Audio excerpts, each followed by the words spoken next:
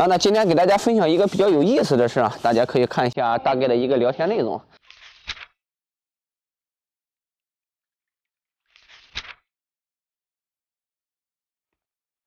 然后接下来的事呢，大家又可能会想起来一句话，叫“差生文具多”。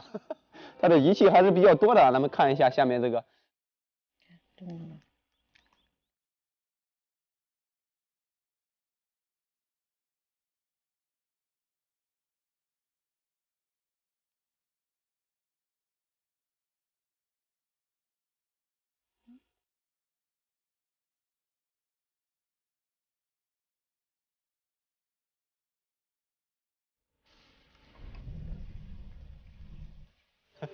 这 话又说不像红蜘蛛，你要知道哈，咱们之前也跟大家提过红蜘蛛。红蜘蛛这个东西呢，不是说呃盘丝洞里面那个蜘蛛，它不是那种蜘蛛侠的蜘蛛，它就是螨虫类的，就是你放大镜里面看到的这种东西。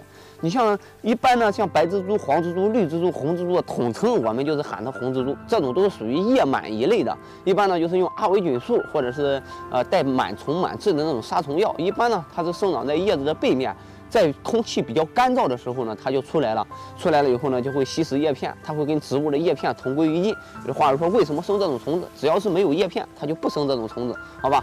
花友们呢也会经常遇到这种问题的，尤其是现在室内比较干燥，会遇到这种问题。大家可以用一种叫阿维菌素，或者说带阿维的，你比方说阿维比虫林、阿维定虫醚、阿维赛虫芹等等一系列带阿维的这种东西呢，喷洒到叶子背面，都可以起到一个防治的作用，好吧？这是一个简单的一个点，也比较好玩、有意思的事儿。如果说大家遇到什么呃那种解决不了的病虫害，也同样可以发图片给我。如果说我没有及时回复的话，你可以进我们网店问我们客服，我们客服是十二小时在线的，七乘十二小时哦。